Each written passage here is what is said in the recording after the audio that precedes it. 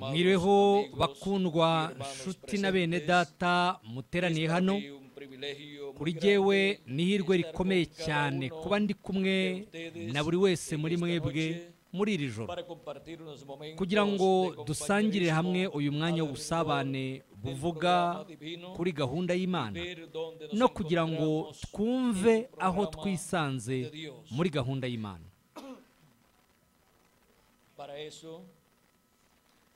Niyo mpamvu nifuza kubabwira isomo tugiye kuba dufite muri iri joro iryo somo ni iri ubwiru bwa manu yahishwe itangwa n'umwungeri ukiranuka w'ubwenge kandi w'umunyamakenga ariyo mpamvu nifuza 12 gu- ku- verso gusoma mu 17. byahishuwe igice cya kabiri umurongo wa cumi na karindwi. Aho ngaho yesu kirisito aratubwira ibi bikurikira. ufite ugutwi niyumve iby'umwuka abwira amatorero. Unesha nzamuha kurya kuri escondido, yahishwe. muhe n'ibuye ryera ryanditsweho izina rishya ritazwi n'umuntu wese keretse urihabwa. Ubwiru bwa manu yahishwe itangwa n'umwungeri ukiranuka kandi w'umunyamakenga.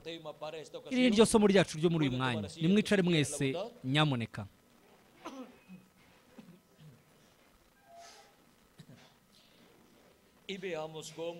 Rero tugiye kumva uburyo twaronka manu yahishwe kuri uyu munsi wa nyuma. Imana derramó por 40 años sobre yasutse hano ku isi mu myaka mirongo ine iyisukira abaheburayo ibaha manu. kandi iminsi yose mu gitondo hamanukaga manu ivuye mu ijuru. Maze ishyanga ry'abaheburayo bakayitora. Kandi bayifataga iminsi yose ku cyumweru kuwa mbere kuwa kabiri kuwa gatatu kuwa kane no kuwa gatanu. Kuwa tomaban gatanu bwo batwaraga imigabane ibiri. Naho ku isabato ntago bigeraga batora manu kuko nta manu yamanukaga ku isabato kwabaga ari umunsi w'ikiruhuko hagati mu ishyanga ry'aburayo kandi manu yagombaga kugwa ku isabato yamanukaga ku munsi wo kuwa gatanu mu gitondo. Nuko rero iyo manu yo ku isabato yamanukaga ku munsi wa gatandatu. Ku munsi wa karindwi bakaba bafite manu barya ya- yamanutse ku munsi wabanje rero reka twumve ibyabaye hano muri iki cyanditswe cyanditse hano mu kuva capítulo 16, igice cya cumi na gatandatu. aho ngaho ni ahatubwira kuri manu kandi hakatubwira ibyo Moisés. imana yabwiye mose. Dijo, aha haratubwira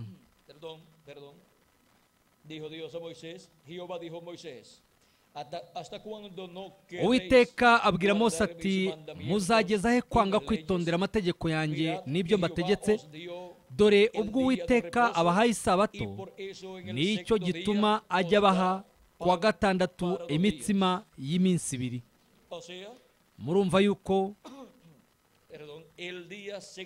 umunsi wa gatandatu imana yabahaga umutsima w'iminsi ibiri. Umuntu wese agume aho ari ntihakagire umuntu uva aho ari Así el karindwi. nuko kuwa día. karindwi abantu bararuhuka. inzu ya isirayeli yita icyo kintu manu. Ni ngo ni ibyo byo kurya byamanukaga iminsi yose mu gitondo. yari umweru igasa n'utubuto tw'ibyatsi byitwa gadi. Yaryohaga nk'umutsima usa "Esto es n'ibango uvugamye uvuganywe n'ubuki. comer de él". mose arababwira ati itegeko uwiteka yabategetse ni iri. urugero rwa omeru rwa manu rubikirwe ab'ibihe byanyu bizaza kugira ngo bazarebe ibyo kurya nabagaburiraga mu butayu. ubwo nabakuraga mu gihugu cya egiputa. Mose abwira aroni ati jyana urwabya urushyiremo omeru ya manu uyibike imbere y'uwiteka ibikirwe ab'ibihe byanyu bizaza. Uko uwiteka yategetse mose aroni ayibika imbere y'ibihamya ngo igumeho abisirayeli barya manu imyaka mirongo ine bageza bageza aho bagereye mu gihugu kibabwamo n'abantu. Barya manu bageza aho bagereye ku rugabano rw'igihugu cy'i kanani omeru cumi zingana na efa imwe. Nuko rero ahangaha mwumvise uburyo imana yahaye ishyanga ry'abaheburayo mani mu gihe cy'imyaka mirongo ine. Ibyo byabaga iminsi yose keretse ku munsi w'isabato.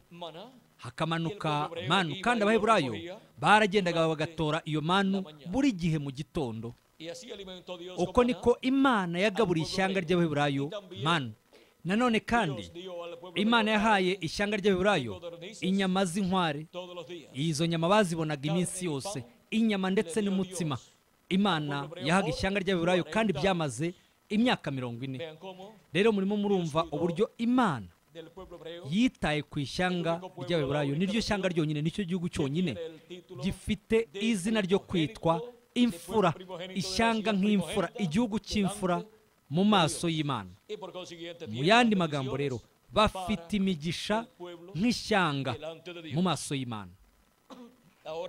Nuko rero intumwa pawulo atubwira ku birebana n'urusengero ni mu gice cya cyenda mu rwandiko rwandikiwe abaheburayo aho ni ho atubwira ibi bikurikira. isezerano rya mbere naryo ryari rifite imihango y'ubutambyi rifite n'ahera h'isi kuko hariho ihema ribanzirizwamo.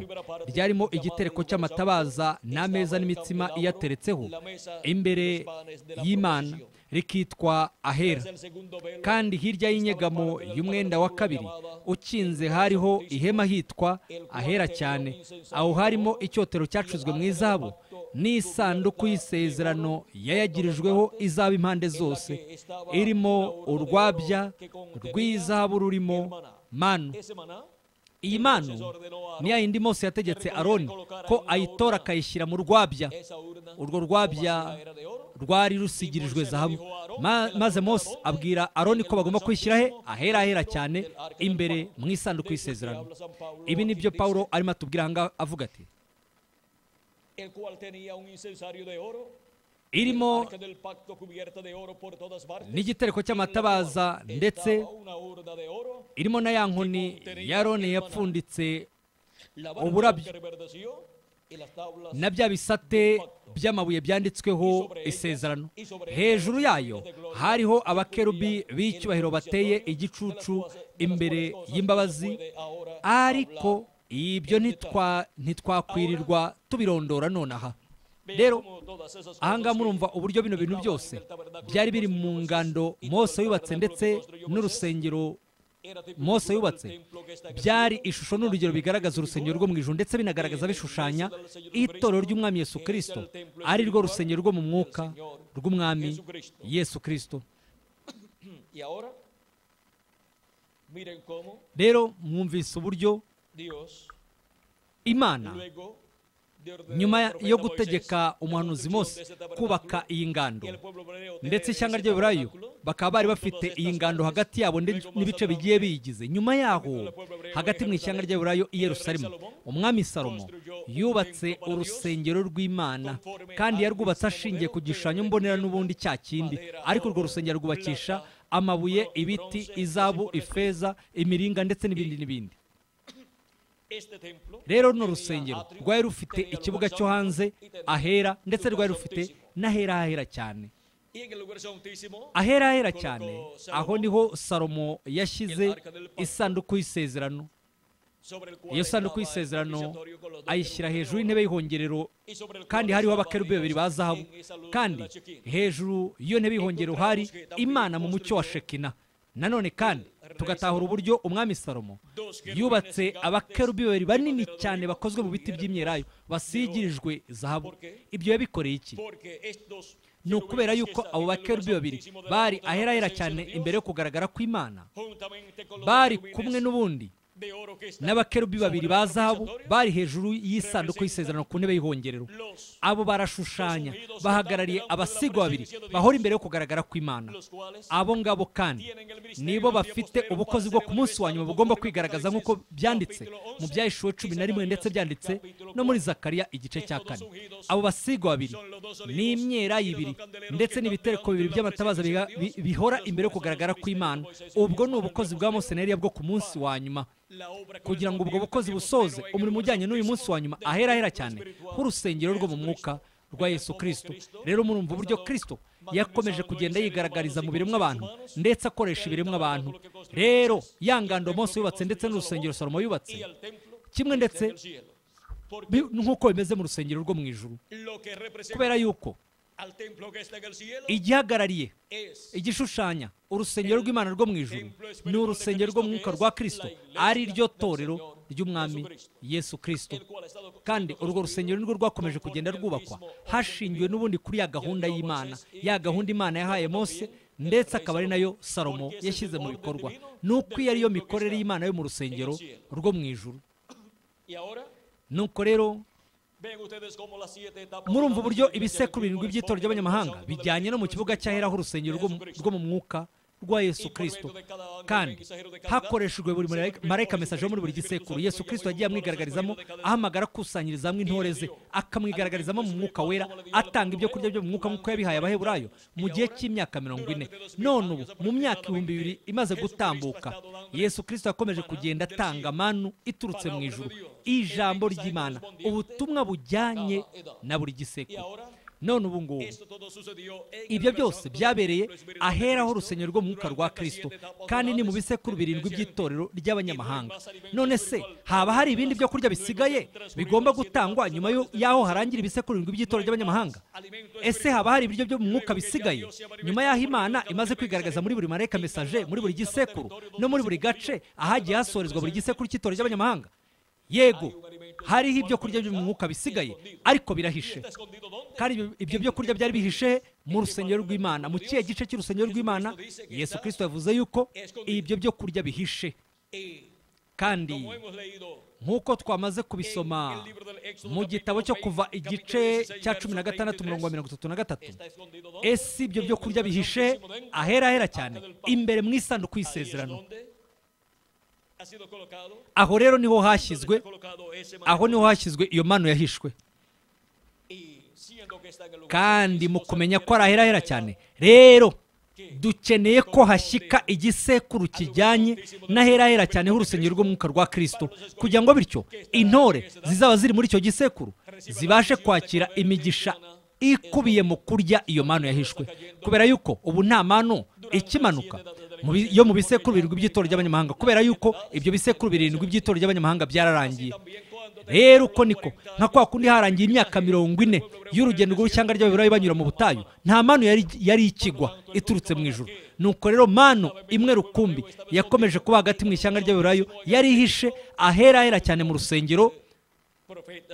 Umuhanuzi mose yubatse kandi iyo año bashoboraga kuyibona buri mwaka inshuro imwe mu mwaka ku munsi ku munsi w'imbabazi umunsi wo guhongererwa itariki icumi z'ukwezi kwa karindwi.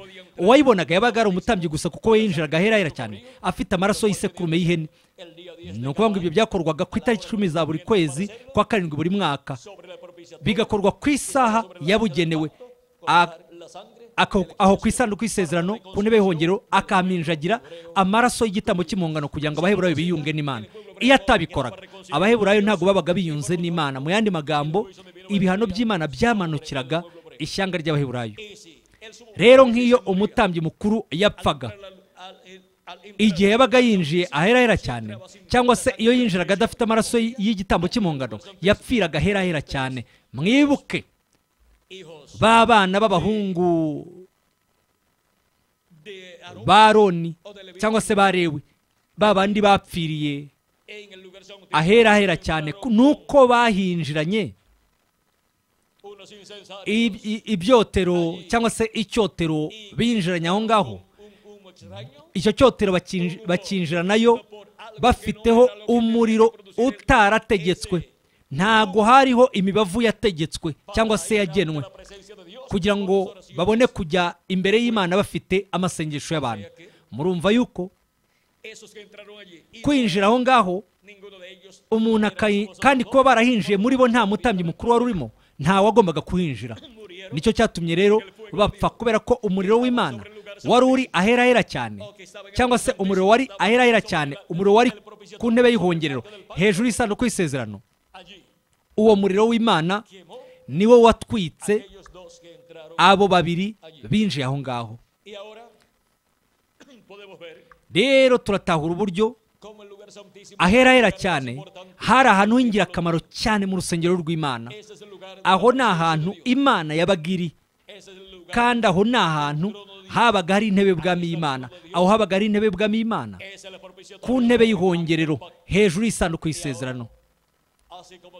Rero nka kwa kundi imana yagaragarije mu biremwa abantu ikibuga cyo hanze cy'urusengero nyuma yaho igasohoza n'ibijyanye n'ahera mu rusengero rw'imana. Arirwo rusengero rwo mu mwuka rwa yesu kirisito ariho mu itorero ryayo. Ubu noneho ahagezweho gusorezwa mu biremwa abantu ni ahera ahera cyane h'urusengero rwo mu mwuka rw'imana. hakoreshejwe ibiremwa abantu. Nibo bagomba kubaka ahera ahera cyane. Kandi n'ibintu byose byarahera ahera cyane ibyo byose bigomba kwigaragariza hagati mu biremwa abantu. Ahangaha ku isi imbere mu mubiri w'ibanga w'umwami yesu kirisito kandi aho hagomba kuba ndetse hari manu yahishwe. Rero kubera ko umuntu atabeshwaho n'umutsima gusa ahubwo yabeshwaho na buri jambo ryose rituruka mu kanwa k'imana. Rero iyo manu yahishwe ni ijambo ry'imana rihishwe. Rya rindi ritabashije kuribwa mu bisekuru birindwi by'itorero ry'abanyamahanga ndetse no mu bihe byatambutse mu isezerano rya kera. Iyi manu yahishwe rero ni ubutumwa ubutumwa bwiza bw'ubwami buvuga ku kuza kwa kabiri kwa kirisito ubu ni ubutumwa mu bindi bisekuru n'andi madispensasiyo ni ubutumwa batabashije guhabwa nk'abagize umubiri w'ibanga wa kirisito kubera yuko hari hataragera igihe cyo kuza kwa kabiri kwa kirisito ni ukubera ko igihe cyo kuza kwa kabiri kwa kirisito ni igihe cyo mu gisekuru cy'ubere rikomeza imfuruka.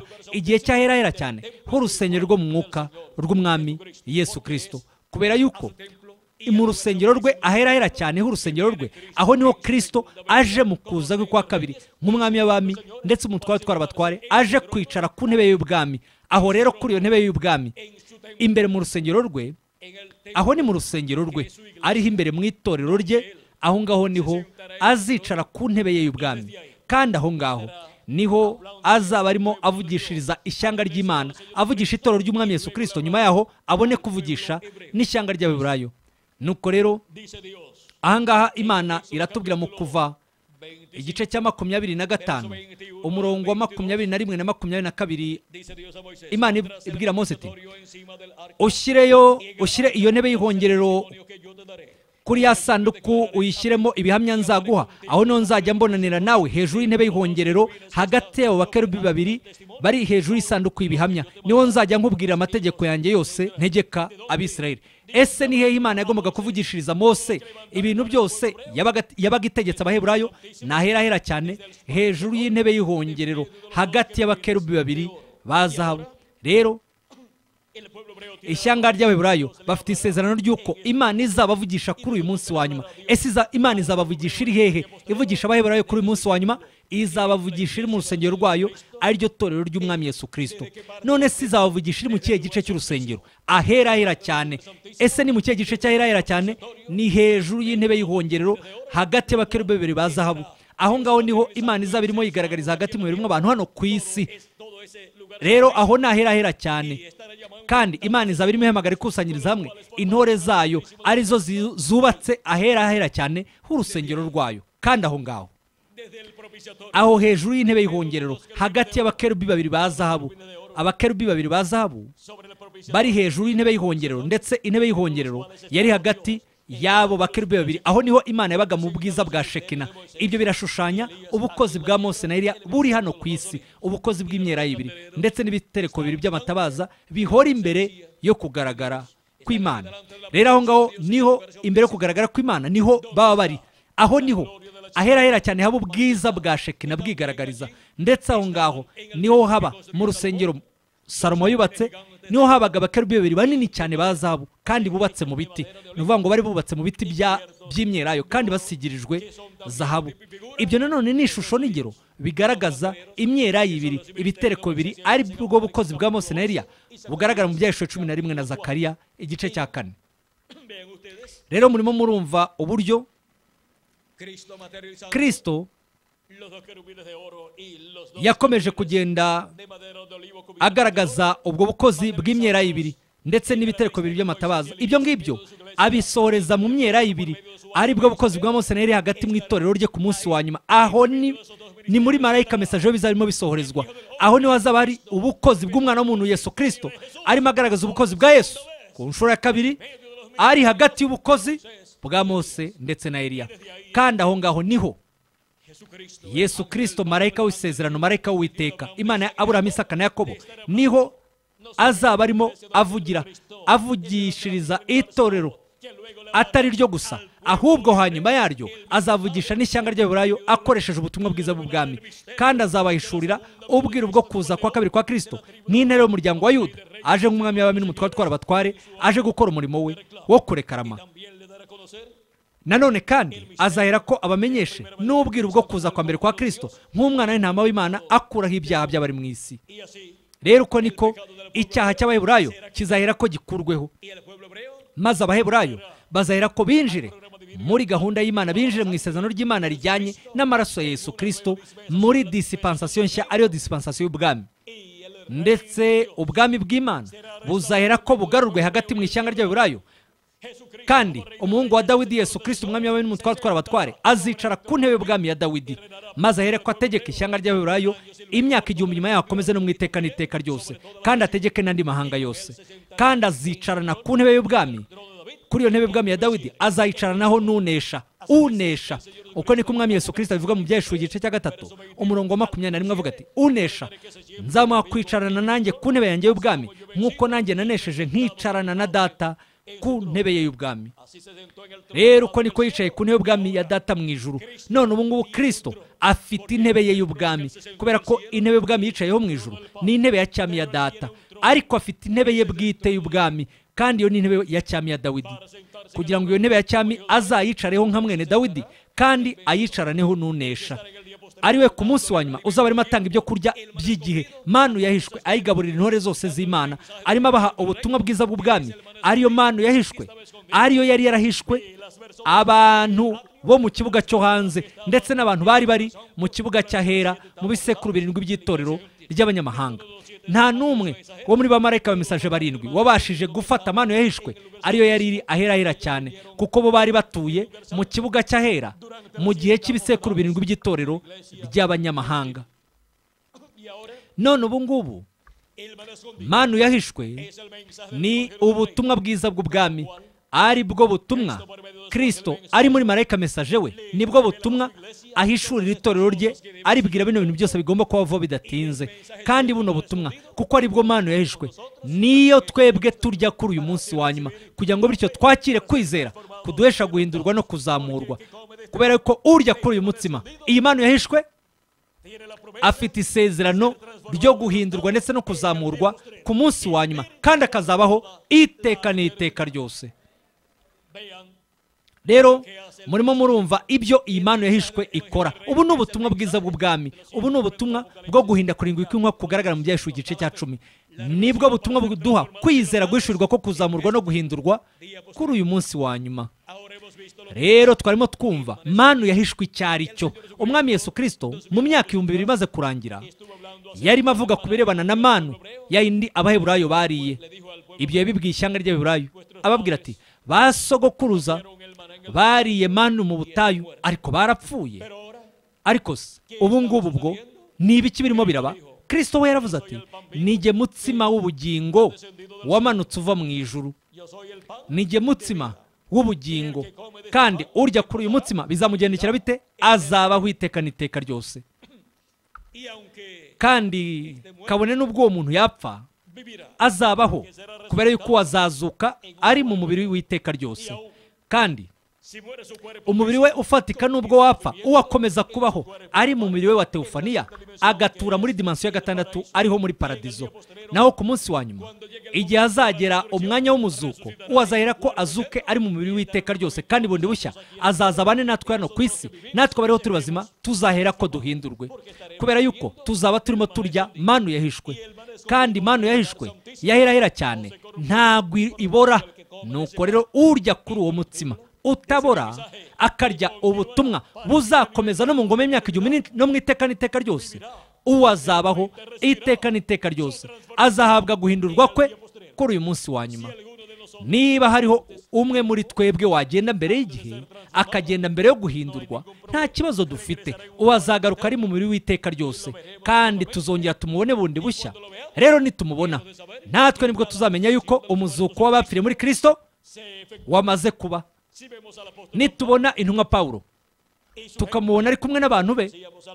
ntago twamenya abantu bo mu gihe cya vemos ariko tubonye abantu bo mu gihe cyacu. bene data bamaze kugenda. Aribo twa- twaba tuzi igihe bari bari ku isi. niba hariho ugiye muri iyi minsi tuzamumenya. Nuko rero nagaruka ari mu mubiri mushya twavuga tuti twahera ko tukavuga tuti bagarutse ese mwamwibuka bino na biriya? Wabibuka wa mwanya wa wundi na wa wundi? Mwaba mwibuka bya bindi nakubwiye? Rero uko niko azahera atubwira ati waba wibuka noneho ko ari jyewe? Uzahera ko uvuga uti weho uri runaka. Kubera iki noneho wahindutse umusore?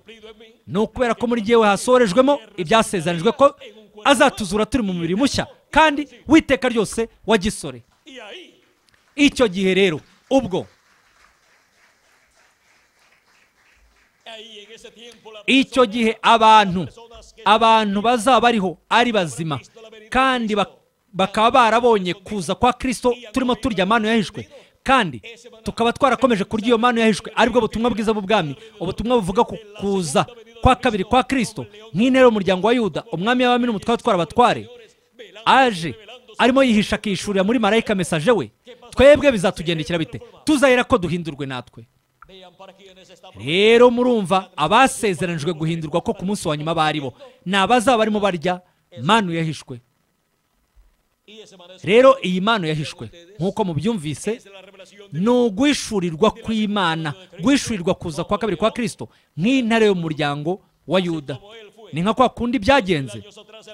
Mu myaka ibihumbi bibiri yarangiye manu yamanutswe iva mu ijuru. Mu kuza kwe kwa mbere akomeje kuba n'ubundi ari umutsima w'ubugingo. Niwe manu yamanutse iva mu ijuru. None ubu ngubu amanutse nka manu yahishwe. Nuko rero ubu ngubu aherereye hehe araherahera cyane. Aho ni ho hari manu iyo imana yabwiye mose ko agomba kuyishyira imbere mu isanduku y'isezerano akayishyira mu rwabya rwa zahabu. Rero twarimo twumva manu yahishwe icyo ari cyo kandi twumvise uburyo turya manu yahishwe. Kandi twumvise aho tugomba kuba turi kugira ngo turye kuri iyo manu yahishwe. Tugomba kuba turi mu gisekuru cy'ibere komeza imfuruka mu gisekuru cy'ahera cyane. H'urusengero rwo mu mwuka rwa yesu kirisito aho ngaho rero ese ninde uzaba ahari kugira ngo aduhe iyo manu yahishwe? Muri matayo. capítulo 24 igice cya makumyabiri na kane 42 umurongo wa mirongo ine na kabiri na mirongo ine na karindwi. Aho ni ho kirisito atubwira uzaba ari aho ngaho akaduha kurya kuri ibi byo kurya by'igihe. Aravuga ati nuko mube maso kuko mutazi umunsi kuko mutazi is- isaha umwami wanyu azazaho ariko ibi mubimenye iyo aba nyir'urugo yaramenye igicuku umujura azaziramo. Yakabaye maso ntiyagakundiye ko inzu ye icukurwa. Nuko namwe mwitegure kuko isaha mudatekereza ariyo umwana w'umuntu azaziramo. Mbese ninde mugaragu ukiranuka w'ubwenge w'umunyamakenga shebuja yasigiye abo mu rugo rwe kubagerera igerero igihe cyaryo? Uwo mugaragu arahirwa. Shebuja naza. Agasanga abikora atyo. Ndababwira ukuri yuko azamwegurira ibintu bye byose. Rero ese ninde mugaragu ukiranuka w'ubwenge w'umunyamakenga ari we uzaba uri ari we uzaba uhari mu kuza kwa kirisita atanga ibyo kurya byo mu mwuka abiha intore z'imana zo mu nzu y'imana? Arizo zizaba ziri aherahera cyane h'inzu y'imana? Kubera ko aherahera cyane ni ho kirisito aje mu kuza kwa kabiri. Nuko rero aho ni ho hazaba hari umugaragu w'ubwenge ukiranuka w'umunyamakenga ari we marayika w'umwami yesu kirisito atanga ibyo kurya byo mu mwuka ari bwo butumwa bwiza bw'ubwami. Kandi arimo ahishura ubwira bwo kuza kwa kabiri kwa kirisito nk'intero y'umuryango wa yuda nk'umwami w'abami ndetse umutware utwara abatware aziye intore z'imana zose. Rero uwo ni we mugaragu w'ubwenge ukiranuka w'umunyamakenga ni we uzaba arimo atanga amano yahishwe kuko azaba yayihawe na kirisito ubwo ni ubutumwa bwiza bw'ubwami ubutumwa bukubiyemo guhishurwa ko kuza kwa kabiri kwa kirisito kandi iyo mano ubwo butumwa azaba arimo abu- abu- abugaburira intore z'imana zose kuko umuntu atabeshwaho n'umutsima gusa ahubwo yabeshwaho na buri jambo ryose rituruka mu kanwa k'imana. Rero ubu ni ubutumwa bwiza bw'ubwami. Ubu ni ubutumwa. Ijambo rituruka mu kanwa k'imana. ubutumwa buturuka muri mesaje w'imana wo ku munsi wa nyuma. Ibi ni byo byo kurya byo mu mwuka bigenewe intore z'imana zo ku munsi wa nyuma. Mu kinyagihumbi cya karindwi mu gisekuru cy'ubure komeza ifuruka ndetse muri disipansasiyo y'ubwami. Aherahera cyane h'urusengero rwo mu mwuka rw'umwami yesu kirisito ariho mu itorero ry'umwami yesu kirisito mu gisekuru cy'ibuye rikomeza imfuruka aho ni ho hari itorero ry'umwami yesu kirisito mu gihe cya none mu gihembwe cyangwa se mu gisekuru cy'ingenzi cyane kuruta ibindi bisekuru. Ni igihembwe cy'aherahera cyane h'urusengero rwo mu mwuka. None se ni iki akora aho ngaho? Ni iki dukora aho ngaho? Ni iki arimo akora aho ngaho? Arimo ararya amano yahishwe kuko umugaragu w'ubwenge ukiranuka w'umunyamakenga ari we marayika w'umwami yesu kirisito kuri uyu munsi wa nyuma azaba arimo atugaburira amanu yahishwe ibyo kurya byo mu mwuka. Ubutumwa bwiza bw'ubwami. Kandi ari bwo butumwa buduhishurira ubwiru bw'ikimenyetso cya karindwi ubwiru bwo kuza kwa kabiri kwa kirisito nk'intare y'umuryango wa yuda nk'umwami w'abami ndetse umutware utwara abatware aje mu murimo we wo kwisubiza ibye byose. Rero twari duteze amatwi ubwiru bwa manu yahishwe itangwa n'umwungeri ukiranuka w'ubwenge w'umunyamakenga rero mu bisekuru birindwi mu bihe birindwi by'itorero ry'abanyamahanga kirisito yahagize ba marayika ba mesaje barindwi. Bo nibo bari abungeri ba buri gisekuru. Aho ni ho kirisito nk'umwungeri mwiza yarimo ahamagara akusanyirizamo intore ze kubera yuko yabaga arimo avugisha intama ze ariko anyuze muri buri wese muri bano ba marayika ba mesaje uko ari barindwi. Kandi kirisito nk'umwungeri mwiza yagiye yigaragariza muri buri wese muri bano bakozi b'imana uko ari barindwi. Aribo ba marayika ba mesaje barindwi ari bo bari abungeri ba buri gisekuru muri bino- bisekuru birindwi. Babaga baragiye intama z'umwami buri wese muri bino bisekuru. Kandi babaga bari- barimo batanga manu yamanukaga muri buri gisekuru cyose muri bino bisekuru. Nuko bagatanga manu bari ahera h'urusengero rwo mu mwuka rwa kirisito ariko ubu noneho isezerano ni uko tuzahabwa manu yahishwe turi ahangaha mu gisekuru cy'ubure komeza imfuruka mu gisekuru cy'urukundo rwa kimana. Kandi manu ubutumwa bwo mu gisekuru cy'ubure komeza imfuruka ubutumwa bwahera cyane mu rusengero rw'umwuka rwa kirisito nta na hamwe muri ba mesaje barindwi nta n'umwe wabashije gufata iyo manu ngo ayitange. Ngo ayihe itsinda ryo mu gisekuru cye kubera ko iyi manu ni ubutumwa imana yahishe mu gisekuru cy'ibere komeza imfuruka. Kugira ngo bityo iyo manu izayishurwe ihabwe intore z'imana mu gisekuru cy'ibere komeza imfuruka. Kandi iyo manu itangwe n'umugaragu w'ubwenge ukiranuka w'umunyamakenga uzaba hari ku munsi wa nyuma mu gisekuru cy'ibere komeza imfuruka muri disipansasiyo y'ubwami. Kandi akazaba ari mu gisekuru cy'ahirahera cyane h'urusengero rwo mu mwuka rwa yesu kirisito kabone n'ubwo bano bamarayika ba mesaje uko ari barindwi bo mu bisekuru birindwi. Kabone n'ubwo nabo bari abagaragu b'ubwenge bakiranuka b'abanyamakenga nabo bari abo mu gisekuru bagenewe kubamo. Ariko ntabwo ari bo babaye umugaragu ukiranuka w'umunyamakenga uwo ku munsi w'umwami uzaba uhari mu kuza k'umwami. Akazaba hibereye arimo atanga ibyo kurya byo mu mwuka by'igihe abigaburira intore zose z'imana zo mu gisekuru cy'ibuye rikomeza imfuruka ariho aherahera cyane h'urusengero rwo mu mwuka rwa yesu kirisito none ubu ngubu uyu mugaragu w'ubwenge ukiranuka w'umunyamakenga ari we mwungeri ukiranuka w'umunyamakenga ari we yesu kirisito umwungeri mwiza azaba arimo aragiye intama ze mu gisekuru cyo rikomeza imfuruka muri disipansasiyo y'ubwami ahera hera cyane h'urusengero rwo mu mwuka. Uyu mugaragu w'ubwenge ukiranuka afite uguhirwa ko kuba ari we uzakira umugisha. Uwo kirisito yasezeranije ahangaha ndababwira ukuri yuko azahera ko akamwegurira ibye byose. Niyo mpamvu ndetse n'isezerano rigaragara mu byashuwe gatatu umurongo wa makumyabiri na rimwe rivuga ngo unesha nzamuha kwicarana nanjye ku ntebe yanjye y'ubwami. Rero mu gihe umuntu yicaye ku ntebe ya cyami kuko aba yahawe ububasha n'ubutware bwo kwicara kuri iyo ntebe ya cyami bigenda bite? Akora iki ari kuri iyo ntebe ya cyami? Ahera ko agategeka yicaye kuri iyo ntebe ya cyami. Nuko rero uwazicarana na kirisito uyu ni we mugaragu w'ubwenge ukiranuka w'umunyamakenga umwungeri ukiranuka w'umunyamakenga uzaba ari ku munsi wa nyuma. Atanga ibyo kurya byo mu mwuka manu yahishwe ayigaburira intore zose z'imana. Arimo abaha ubutumwa bwiza bw'ubwami. Kandi isezerano rindi ni irigaragara mu byashuwe igice cya kabiri umurongo wa makumyabiri na gatandatu na makumyabiri n'umunani rivuga ngo unesha akitondera imirimo yanjye kugeza kumeruka nzamuha ubutware bwo gutwara amahanga yose. Azayaragiza inkoni y'icyuma. Ayamenagurire rimwe nk'ibibumbano by'ibumba. Ikindi kirengaho ni iki? Azayaragiza inkoni y'icyuma kandi ayamenagurire rimwe nk'ibibumbano by'i- by'ibumba. Nk'uko nanjye nabihawe na data. Rero nk'uko kirisito yahawe na data buno butware. Ubu ngubu noneho nawe ubu butware buhaye nde? Unesha. Uyu ni we mugaragu w'ubwenge ukiranuka w'umunyamakenga umwungeri ukiranuka w'umunyamakenga uzaba ari ahera hera cyane mu rusengero rw'umwuka rwa kirisito arimo atanga ibyo kurya byo mu mwuka ijambo ry'imana. Ariha intore zose z'imana zo ku munsi wa nyuma. Azaba arimo abaha ubutumwa ari ibyo byo kurya byo mu mwuka bigenewe ubugingo bwa buri wese muri mwebwe ndetse n'ubugingo bwanjye nanjye. Kubera ko umuntu atabeshwaho n'umutsima usanzwe gusa ahubwo yabeshwaho na buri jambo ryose rituruka mu kanwa k'imana.